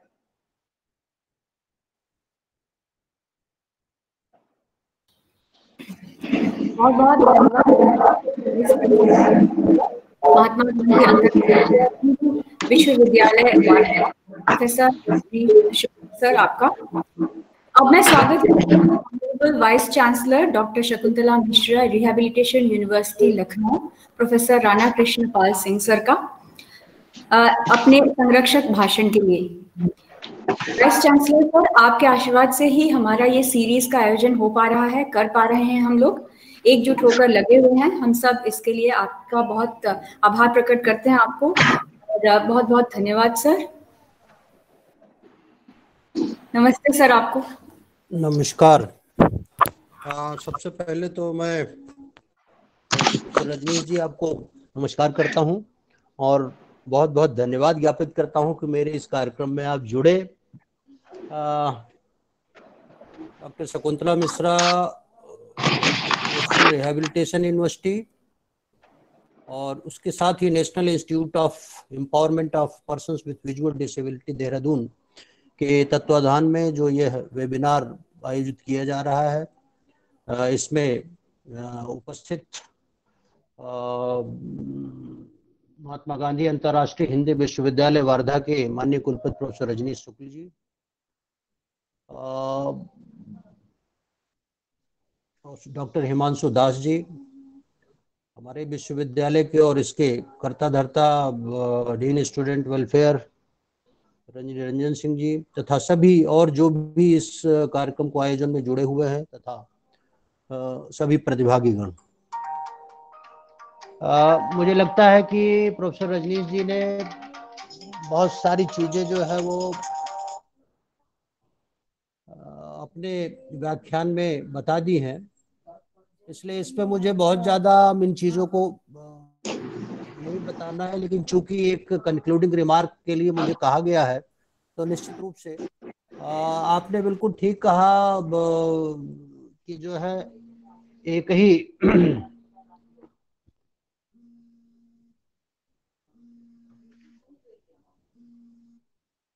एक ही प्रकार की शिक्षा सबके लिए होनी चाहिए। बिल्कुल ठीक कहा है। साथ ही एक और चीज़ जो आपने बताई कि ये शिक्षा नीति जो है, जिस पर कि ये व्याख्यान आज का है कि ये हमारे राष्ट्रीय परिदृश्य में कितना हमारे लिए जो है ये ठीक है। तो बिल्कुल ठीक कहा कि यह शिक्षा जो है अब अब तक तो नहीं थी, परंतु अब ये है जो एक तरह से व्यक्ति निर्माण का जो कार्यक्रम है, जो कि अब तक नहीं हो रहा था। अभी तक तो शिक्षा के द्वारा हम खाली डॉक्टर, इंजीनियर और ऑफ़िस में काम करने वाले आई एस पी कुछ इसी तरह का एक तरह से रख करके वो चल रहे थे। लेकिन एक ये कि अपनी सांस्कृतिक परंपराओं को समाहित करते हुए और हमारे जो एक तरह से स्वाभिमानी और कौशल से युक्त युवकों का निर्माण करना और फिर उनका उपयोग अपने राष्ट्र निर्माण में करना, ऐसी जो एक हमारी सोच शुरू से थी, उस पर बहुत विचार नहीं किया गया था, लेकिन मुझे ऐसा लगता है कि 29 जुलाई 2020 को ये जो नई शिक्षा नीति हमारे बीच में आई है ऐसा नहीं है कि इस पर जो है वो बहुत जल्दी ही कोई निर्णय ले लिया गया हो। डॉक्टर रजनीश जी को भी मालूम होगा और आप सभी को कि ये लगभग मुझे लगता है कि कई काफ़ी दिनों की जो है मक्के मंथन के बाद, यानी लगभग मुझे लगता है एक हज़ार विश्वविद्यालय और चालीस से पैंतालीस हज़ार महाविद्यालय या एक लाख के आसपास जो हमारे छोटे विद्यालय हैं, इनमें चर्चा करके और फिर लगभग एक करोड़ के आसपास अध्यापक या समाज के करीब तीस पैंतीस करोड़ लोगों से विचार करके, साथ ही मुझे जो लग आंकड़े मिलते हैं उसमें छह हज़ार के आसपास ग्राम सभा में या ऐसे ही छह हज़ार के आसपास जो है शहरी निकायों से जो मंत्रणा करने के बाद यह जो एक नई शिक्षा नीति आई है और वो कितना हमारे भारतीय समाज के हिसाब से जो है वो हमारे लिए उपयोगी है इस पर तो हमारे मुख्य वक्ता महोदय ने काफ़ी विस्तृत रूप से प्रकाश डाल दिया है परंतु मुझे ऐसा लगता है कि बिल्कुल ठीक है, ये जो कुछ थोड़ी बड़ी चीज़ें हैं जैसे आप कह सकते हैं कि आ, अभी तक जो है प्रारंभिक शिक्षा के बारे में जो है वो बहुत ज़्यादा ध्यान दिया नहीं गया था। तो आपने जैसा बिल्कुल ठीक बताया कि कुछ ऐसे विद्यालय थे जो खाली अंग्रेज़ी और वो ऐसे लोगों को समाहित करते हुए चलते थे और कुछ ऐसे विद्यालय थे जहाँ समाज के और लोग जो है वो किसी तरह से वहाँ उनको ले जा करके और शिक्षा दी जाती थी। लेकिन अब जो स्थिति है आ, मुझे ऐसा लगता है कि ये जो अपनी मातृभाषा को प्रारंभिक स्तर पर समाहित कर दिया गया है, ये बहुत ही ठीक है और किसी भी चीज़ को समझने के लिए, अपनी मातृभाषा में समझना जो है वो प्रारंभिक अवस्था में बहुत ही जो है वो एक तरह से सरल होता है और हम ठीक प्रकार से उन चीज़ों को समझ सकते हैं। बनस्पत की हम किसी दूसरी भाषा में जो कि हम अच्छी तरह से नहीं समझते हैं तो एक ये बहुत ही अच्छा उसमें जो प्राविधान है और वो हमारी एक तरह से संस्कृति और इन सब चीज़ों से हमको जोड़ेगा, हमारे जो पुराने विचार ग्रंथ, नैतिक रूप से जो बहुत सी चीज़ें हैं, जो विभिन्न भाषाओं में है, उनको पढ़ने का हमें अवसर देंगी। साथ ही एक और चीज़ जो है, जो हमारे प्रधानमंत्री जी बार बार कहते हैं कि हम एक आत्मनिर्भर राष्ट्र बनाएँगे। तो वास्तव में आत्मनिर्भर बनाने के लिए तो हमको ऐसे लोगों का निर्माण करना होगा, ऐसे लोगों को बनाना होगा, जो उन चीज़ों को समझ सके और समझ करके फिर जो है वो आगे इस पर जो है वो कार्य कर सके। तो उन्होंने इसीलिए आह्वान किया था, कई जगहों पर मैंने जुड़ा रहा कई उनके व्याख्यानों में। उनका यही था, उन्होंने वैज्ञानिक तकनीकी सभी लोगों को जो अपने स्वदेश के हैं, यानी देश के हैं, उनको आह्वान किया कि भाई आप अपने शोध की जो है दिशा इस प्रकार से बनाइए कि वह अपने इस देश को और इधर तो बहुत ज़्यादा कहने लगे हैं कि आत्मनिर्भर बनाए और उससे जो निकले, यानी जो आप शोध करें या जो आप अपने देश के लिए बनाए, उससे समाज का जो सबसे नीचे का व्यक्ति है, वह लाभान्वित हो, इस पर उनका बहुत ज़्यादा रहता है। और हमारे मैं कह सकता हूँ कि दीनदयाल उपाध्याय जी तो इस पर बहुत ज़्यादा जो है वो बातचीत किया करते थे और उनका एकात्म मानववाद का जो सिद्धांत है, वो लगभग इसी दिशा में जो है वो चलने वाला था। तो मुझे लगता है कि ये एक बहुत ही अच्छा मतलब कह सकते हैं कि जो एक नई शिक्षा नीति आई है और इसमें ये जो व्यावसायिक शिक्षा पर कहा गया कि 2025 तक जो हमारे बेसिक स्तर के जो विद्यालय है, वहाँ पचास प्रतिशत विद्यार्थियों को हम व्यावसायिक शिक्षा की ओर मोड़ेंगे, ऐसा इसमें प्राविधान है। साथ ही जो अब तक नहीं था, जो उस पर की काफ़ी बात होती थी, लेकिन नहीं हो पाया था, कि हम इस पे शिक्षा पर अपना जीडीपी जो है वो बढ़ाएँगे, यानी जीडीपी का प्रतिशत बढ़ाएँगे तो वो भी काफ़ी बढ़ा दिया गया है, और वो फोर पॉइंट फोर के आसपास जो अब तक था अब प्राविधान करके उसको सिक्स परसेंट किया गया है और एक अच्छा उपयोगी जो है परिवर्तन होगा और मुझे लगता है कि शिक्षा के क्षेत्र में ये काफ़ी महत्वपूर्ण परिवर्तन लाएगा। आपने और भी एक चीज़ इसमें ली जो है, एक तरह से मैं कह सकता हूँ नेशनल रिसर्च फाउंडेशन की जो बातचीत इस नेशनल एजुकेशन पॉलिसी में है, उसमें भी काफ़ी ज़्यादा, क्योंकि अब तक तो कुछ ही संस्थान थे जहाँ आप कह सकते हैं कि वो अच्छे रिसर्च करते थे और मैक्सिमम 90 परसेंट ग्रांट वगैरह उन्हीं को दी जाती थी। और वहीं पर ये चीज़ें, लेकिन अब जो है तीन स्तर पर करके जो है वो इसको किया जाएगा और ऐसे विश्वविद्यालय जो शोध में अधिक अच्छे हैं, उनको, उनसे नीचे वालों को मदद करने के लिए दिया जाएगा। साथ ही इसी तरह की कई परिकल्पनाएँ जो नेशनल रिसर्च फाउंडेशन में है अच्छा एक परिवर्तन है। और इससे राष्ट्रीय जो हमारे संस्थान जो पिछड़े हुए भी है, वहाँ शोध की दिशा में बढ़ोतरी होगी, ऐसा मेरा मानना है।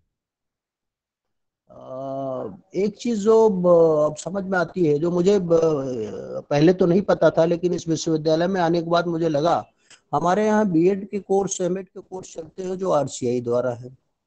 और बाकी और जगहों पे जो बीएड के कोर्स है, वो आपके जो है, वो एनसीटी द्वारा चलते हैं। है दोनों ही बीएड लेकिन मैंने ये देखा कि दोनों में समानता नहीं है और हमारे यहाँ जैसे ये आरसीआई वाले जो कोर्सेज बीएड है, उनको जो जनरल बीएड के सम समकक्ष जो है नहीं माना जाता। मुझे लगता है ऐसे विद्यालयों में जो है, उनको एब्जॉर्ब भी नहीं किया जाता, जो मुझे देखने में आया। आप इसको ज़्यादा ठीक समझते होंगे। तो कुल मिलाकर के ये कुछ थोड़ी चीज़ें हैं, लेकिन अब एक जो राष्ट्रीय नियामक संस्था मुझे लगता है, जो एक कर दी गई है, या इस तरह की अगर थोड़ी मोड़ी चीज़ें गड़बड़ है इसमें तो वो उसको ठीक किया जाएगा। तो इस दिशा में भी एक अच्छा परिवर्तन है। तो कुल मिलाकर के जो ये शिक्षा नीति है इसमें जो आपने अंत में कंक्लूड किया कि एक तरह से जो है ये हमारी जो शिक्षा नीति है, अपने एक तरह से वैश्विक मानव, हम कह सकते हैं जो हमारा पुराना था ना कि विश्व कल्याण के लिए जो है हम कार्य करेंगे, ऐसी जो एक परिकल्पना थी तो इस शिक्षा की नीति में जो है जो मानव निर्माण की बात आपने कही, आप बिल्कुल माने ठीक है। ऐसे लोगों का निर्माण करना जो अपना ही नहीं, अपने समाज का ही नहीं, अपने देश का ही नहीं, बल्कि ये अंतर्राष्ट्रीय स्तर पर विश्व कल्याण के लिए कार्य करेंगे, ऐसा इस शिक्षा नीति में मुझे जो है वो देखने को मिल रहा है। और मुझे लगता है कि तरह से जो एक होता है ना कि ग्लोबल मानव वैश्विक मानव निर्माण की दिशा में ये शिक्षा नीति आगे चलेगी ऐसा मेरा मानना है। तो मैं बहुत समय न लेकर के मैं पुनः एक बार जो है प्रोफेसर रजनीश शुक्ल जी, आपको बहुत बहुत धन्यवाद इस कार्यक्रम से जुड़ने के लिए, आपको प्रणाम और मुझे लगता है कि फिर कभी हम लोग निश्चित रूप से जुड़ेंगे और ऐसे कार्यक्रमों का क्योंकि आपके पुराने विश्वविद्यालय में तो कभी कभार मैं जाता हूँ काउंसिल मेंबर के होने के नाते जो है फिर मुलाकात हमारी आपकी ज़रूर होगी जो है। आपको पुनः एक बार प्रणाम। हिमांशु दास जी अगर जुड़े हो तो आपको भी प्रणाम और सभी को नमस्कार करते हुए मैं अपनी वाणी को विराम देता हूँ। धन्यवाद। सबको नमस्कार।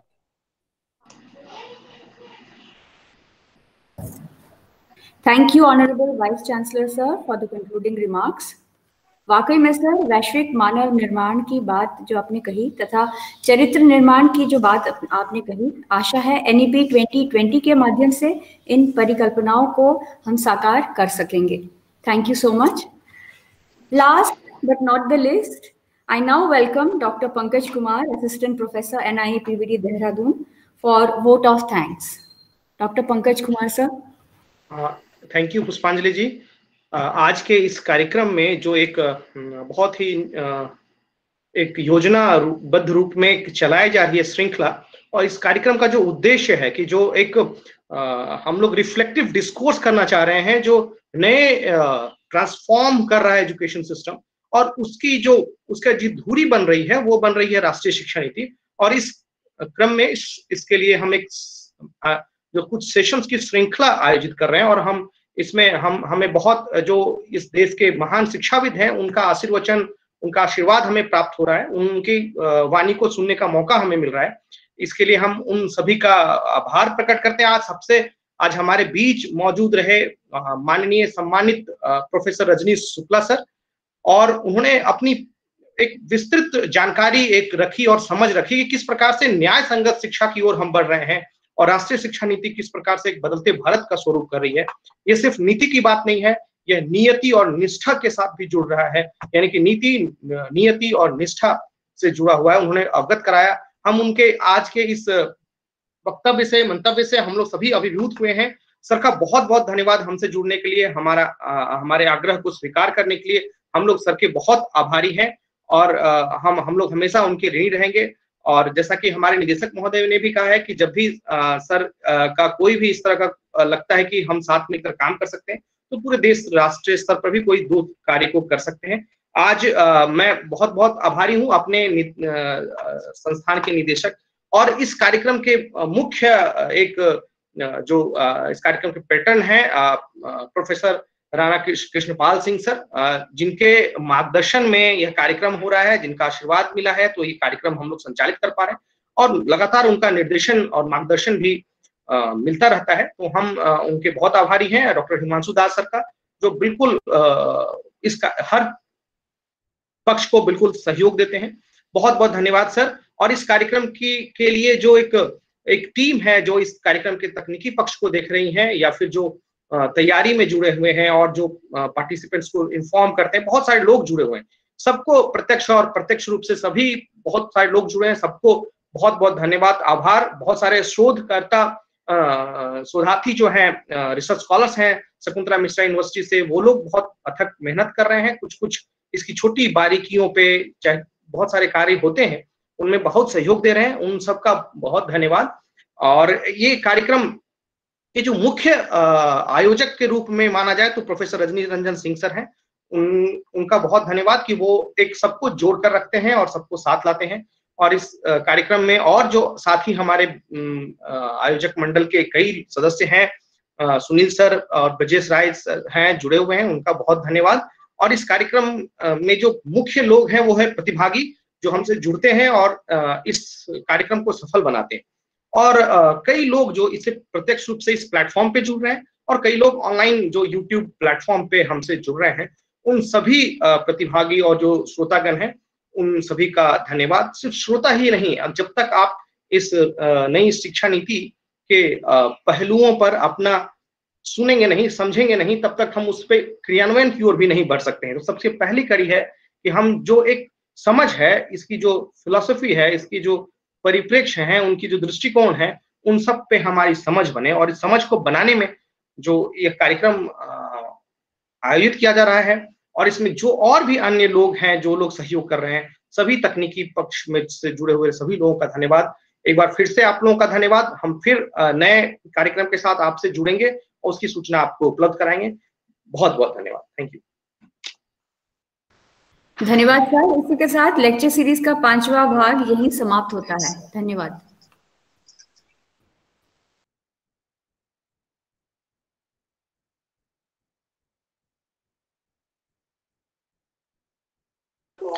थैंक यू सभी को सभी को सभी को ढेर सारी शुभकामनाएँ प्रणाम।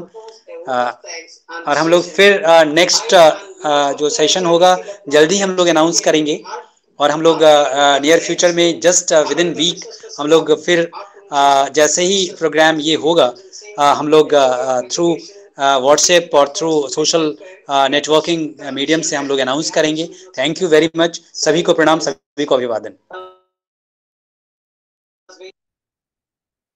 Thank you sir Pushpanjali ji, आपका भी बहुत बहुत धन्यवाद पूरा मैं, लगता है आपका नाम स्किप कर गया था। बहुत बहुत धन्यवाद आपका भी।